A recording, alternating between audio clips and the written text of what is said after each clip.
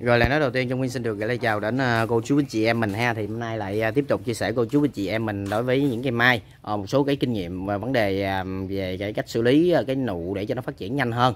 Cũng như là có nên là uh, túi phân gì uh, có nên là phun cái mà thuốc gì không khi mà đã lặt lá như mai như thế này đây hai mọi người. Thì ở đây là uh, những cái mai này thì nó đang ra tược rất rất rất nhiều rồi mọi người. Cái mai này thì tại vì nó non mùa quá ha. Thì uh, trở lại cái vấn đề mình uh, nguyên sẽ chia sẻ. Đây là hai cái loại thuốc mà nguyên chia sẻ để à, phòng ngừa sâu bệnh cũng như là phòng ngừa sâu cũng như là đặc trị bọ chỉ này cô chú anh chị mình này là trong cái giai đoạn này bọ chỉ nó tấn công rất là mạnh nè. Thì uh, trước tiên uh, thì nguyên sẽ tiến hành nguyên chia sẻ cô chú anh chị em mình về cái vấn đề uh, cách để mà nụ nó. Thì bữa nay là tầm khoảng 25 tết hay 20 ổ 25 uh, uh, âm lịch mình này uh, tháng 12 rồi thì à, chỉ còn khoảng chừng 5 ngày nữa thôi thì bắt đầu à, à, bước vào năm mới ha. Thì đối với những cái nụ như thế này nè mọi người. Thì đối với những cái nụ mà chúng ta có cảm thấy mà nó ra như thế này mình theo nguyên nghĩ thì nó chuẩn rồi. Tầm khoảng 30 là nó sẽ nó sẽ nở ra lát ác rồi đó nhưng mà khi mà các bạn gặp cái trường hợp mà cái nụ nó nhỏ hơn nữa hoặc là cái gì đó các bạn muốn tăng tốc nó lên để nó phát triển á thì các bạn mình à, cũng lưu ý các bạn là cái mẹo nho nhỏ thì cái này bây giờ chúng ta không có tưới gì hết nữa ha cô chú anh chị mình. Đã lặt lá rồi thì không có tưới NPK vô nữa hoặc là những cái loại mà uh, phân bón um, cho cây mai. Mà bây giờ cái này nguyên à, có một cái mẹo nho nhỏ mà để cách xử lý đó cái là tức là mình sẽ làm uh, mình sẽ tưới ba cái nụ vô thì à, nguyên đã tiến hành à, mới vừa phun nước toàn bộ trên à, cái à, những cái nụ này mọi người thấy không? Nè. Đó thì phun nước đẫm luôn. Đây là cái bộ vào buổi trưa thì khi mà nắng nóng thì à, cộng với cái cái cái lượng nước mà chúng ta phun lên á thì nó làm cho cái quá trình mà phát triển của cái nụ nó tăng tốc lên tầm khoảng 1 đến 2 ngày ha. Đó mọi người. Đây cái mẹo nhỏ nhỏ thôi. Trước khi vào có vấn đề mà mình à, chia sẻ của chú anh chị em mình à, về cái vấn đề xử lý cái nụ nhỏ nè nó thì cái nụ cái này là cái cúc mà thọ hương thì cái này mình khoảng 5 ngày đó thì mình nghĩ là nó sẽ nở lát đác 30 à. mình sẽ à, mình nghĩ nó nở lát đác 30 rồi nó cái này là che lại tại vì sợ nó cháy gãy nha cô chú anh chị em mình nó thì bây giờ mình quay hai cái mai này thôi đó. Còn rất đẹp. Thì cái này là túi canxi bo mà trong cái giai đoạn mà còn lá là xong hết trơn mọi người. Bây giờ chỉ còn đợi cái thời gian chơi tết thôi. Thì mình mới vừa phun cái uh, bọ chỉ um, vào hôm qua thì mình à, chỉ à, chú trọng đặc biệt là cái bỏ chỉ thôi để cho cái cái lá nó phát triển đẹp ha. Nếu mà hoặc là sâu bệnh đây nè. Cái này là cái cái lá là do sâu nè cô chú anh chị mình nhưng mà phun rồi nha. Đó nè màu đen đen vậy là nó đó. Thì bây giờ lá nó đẹp lại nè nó thì cái này không có sợ này mới vừa vừa phun hôm qua. Thì cái này mình sử dụng cái thuốc hôi nha mọi người. Nếu mà chúng ta xa nhà thì chúng ta nên sử dụng cái thuốc hôi nó tốt hơn. Nó có có mùi hôi nó nồng. Nó vừa cái um, vừa nó có độc mà vừa nó có tiếp xúc đó là về cái vấn đề mà cái mùi thì à, nó sẽ bỏ đi. Đó khi bỏ chỉ thì nó rất là cái à, cứng đầu nha mọi người. Nó không có cái cái này nó dễ rất là dễ kháng thuốc nữa. Thì mình sẽ tiến hành mình phun những cái bọ cái cái loại thuốc mà nó hôi nó. Thì ở đây là nguyên có hai cái loại nè. À, chia sẻ cô chú anh chị em mình luôn nè. Đây nè. Đây là vua gầy gẹp nè đặc trị à, gầy bọ chỉ gẹp sáp này không đây là hai cái loại. Đó và cái trái cờ đỏ nè của mỹ nè thì uh, tiêu đời chích thúc thì nó đặc biệt là đây là mình chỉ chỉ trực đặc biệt vô cái bằng đó là cái à, uh, bọ, bọ chỉ thôi đó. Thì gói có mấy ngàn gói tầm khoảng 15 ngàn cô chú xem mình nhưng mà hiệu quả vô cùng. Thì cái gói này mình pha tầm khoảng 20 lít nước mình phun ha thì các bạn ở nhà có thể là uh, sử dụng sao thì sử dụng nhưng mà ít cây hay nhiều cây thì cái này là chỉ cần 20 lít nước thôi đó. Chia sẻ cô chú anh chị em mình luôn. Bây giờ nó lên bông rất rất là đẹp này đó. ngoài ra thì uh, cái nụ à, xử lý thì mình à, tưới như thế này nè mọi người. Thì cái nắng nó gay gắt thì nó làm nó nóng cái cái nụ. Khi mà nóng thì cái độ mà phát triển của cái à, cái cái nụ nó phải phát triển mạnh lên. Còn ngoài ra thì tưới nước vào buổi trưa nè đó tưới đậm luôn ha tại vì nó sẽ chảy ra tại vì cái này là cái, cái rễ rất là nhiều không có sợ úng nha. Cô chú anh chị mình hồi nó sẽ khô. Nắng nóng như thế này thì cái đầu mình sẽ tưới vô thì nó sẽ ok ha thì à, trên cái chậu như thế này nè mọi người thì tại sao mà thường thường à, cái chậu chúng ta mà nó thường hay nở sớm đó là tại vì cái chậu nhỏ nè mình à, ép chậu và cái thứ hai là cái chất trồng ít thì cái lượng nắng nó vô nó rất là nhiều nên xả đậm thì nó nóng thì cái đầu nó sẽ phát triển cái nụ ra rất là mau.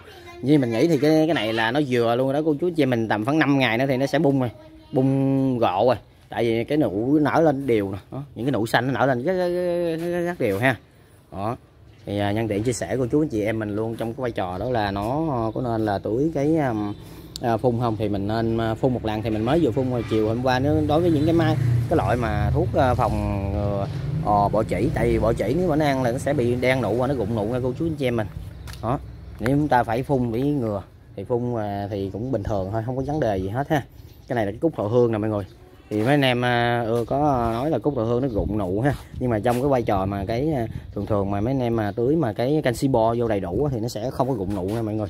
Canxi bo thì nó đi theo cái quy trình là tầm khoảng chừng tháng à, tháng 10 đến tháng 12 luôn rồi. Thì mình cứ tưới vô thôi mình bổ sung đó phun qua lá và tưới gốc đó.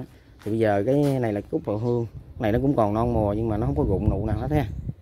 Rất là tuyệt vời. Nó chỉ rụng mà rụng những cái vỏ chấu thôi. Nè mọi người vỏ chấu ha. Rồi thì đó là một số cái à, kinh nghiệm nguyên nguyên muốn chia sẻ cô chú anh chị em mình đó thấy không? Đó. ngoài ra thì cũng phun à, cùng à, ngắm một số cái à, dòng cúc luôn ha. À, dòng cúc dảo cũng khá là nhiều nè. Bây giờ mình sẽ tiến hành quay những cái mai mà sắp đế nè. Thì cái này mình cũng mới vừa phun hồi qua luôn là cô chú anh chị em mình. Nè. Đây nè cây này mình à, chọn từ cái cúc con là cô chú anh chị em. Đó. Bông khá đẹp ha anh em nào có thể à, yêu thích thì có thể à, ờ, nói nguyên. Thì cái này là mình phải phun nè mọi người. Không phun thì bội bò chỉ mà nó tấn công vô cái là cái nụ mình nó đen là nó nở không có đẹp ha. Đó. Này là cái hàng cái cái dòng mà mình à, sắp rễ không à. Nó rất là đẹp luôn cái này hàng hàng nuôi lại. Nguyên sẽ tiến hành nguyên quay một số cái à, cho mọi người xem. Đây nè. Đây thì cái nở chưa có chuẩn nè tại vì mình mới bứng à, trong có tháng nè sắp rễ lên thì nó ra như thế này ok cánh tròn nè. Bây giờ nguyên sẽ tiến hành nguyên quay một số cái này nè. Cái này cái mai dán đổ nè cái dòng cái này là cái cúc bò hương nha mọi người. Đó, đó khá là nhiều. Cái này nó nở cũng khá là nhiều nè mọi người. Nó đây là cái này cũng là cái dòng cúc hộ hương luôn nhưng mà bây giờ nó còn non mồ quá nè cô chú anh chị mình. Giờ mình à, chỉ là mới vừa phun để uh, cho nó đừng có bị sâu và lá ra phát triển đây nè. Đây là cái cái dấu hiệu mà nó bị bò, bò, bò chỉ nè. Nè mọi người. Nguyên sẽ tiến hành nè. Thấy không nám hết trơn. Thì nám này là dễ rụng nha. Nếu mà bị bò chỉ mà không phun là rụng liền nha cô chú chị mình. Đó. Ngoài ra thì uh, quay để uh, chia sẻ cô chú chị mình những cái dòng mà cúc gin đây ở bên bên nguyên ha. Bông khá là đẹp này cô chú chị mình. À, tròn tròn không à. Cúc đây là đây thì cái dạo nè ra dạo nè mọi người. À, hàng gin nè. Quá đẹp mọi người thì cái này là nó giữ nó vẫn giữ đặc tính của cái à, cái à, cái mà cái độ mịn của cái cúc bi này. Cái thằng giống cúc bi ra nha mọi người. Nhưng mà nó lai rồi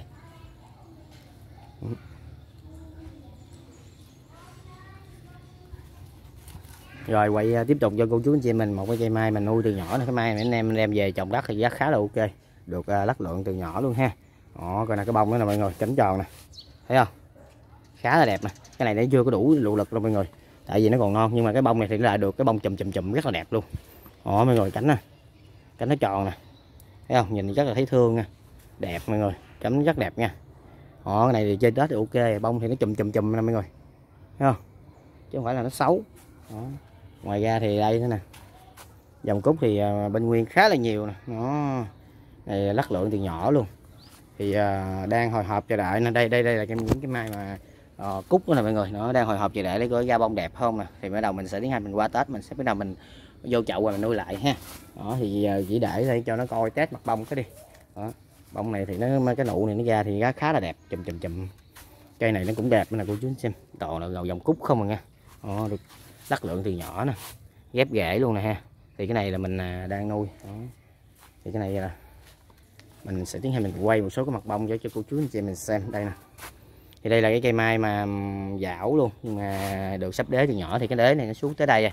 Nữa mình cứ trồng mình chắc trồng mình hoặc là mình xuống đất thì mình à, mở cái này ra luôn. Mở cái này ra thì mình à, cứ để xuống đất để nó phát triển thôi ha. Nó khá là nhiều nha cô chú anh chị em. Đây là những cái, mình mới bứng lên, mình chưa có thời gian mà mình vô chậu nè cô chú anh chị mình. Ồ, không? Bông chùm chùm. Rồi có những cái ma bông lên rất là đẹp nè. Mình à, nguyên sẽ quay cho mọi người. Thì cái này sao nó giống cúc quýt quá mọi người?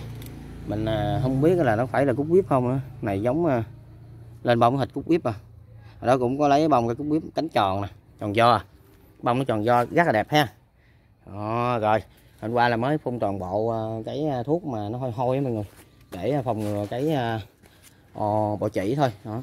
Còn đây dạo nữa nè. Đó, khá là đẹp luôn rồi và thì à, nguyên à, cuối lời đây thì à, mấy anh em nếu mà có cái nụ ra thế này chúng ta vẫn phun xuống chiều sâu bình thường nên phun một lần đi mọi người để chúng ta chơi đảm bảo cái đọt non cái lọc non nó ra như thế này nó đẹp hơn nè và cũng như là nó giữ cái nụ chúng ta không bị sâu đục thân không có bị à, bọ chỉ tấn công ha. Rồi lần nữa xin cảm ơn gửi lời chào. Hẹn gặp lại cô chú chị em mình trong những cái video tiếp theo ha. Xin chào.